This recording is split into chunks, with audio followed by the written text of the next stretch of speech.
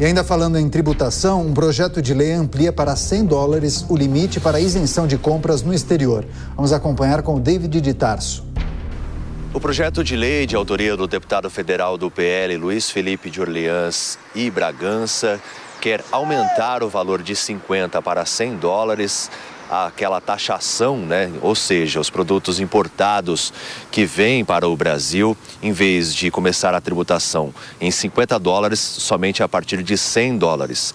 De acordo com o deputado, o autor do projeto, o valor está extremamente defasado, porque essa alteração para tributar produtos a partir de 50 dólares foi criada justamente com base em uma lei de 1980. Por isso que ele solicita essa adequação no valor, porque se fosse levar em conta os modelos atuais que estão sendo praticados pelo mercado, né, os valores atuais, deveria ser de 185 dólares.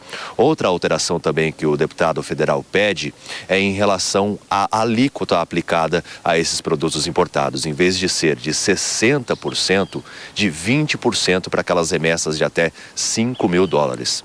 O projeto ainda será discutido no parlamento, mas já está sendo analisado em caráter conclusivo pelas comissões de Constituição e Justiça, Finanças e Tributação. David Letarso para a Jovem Pan.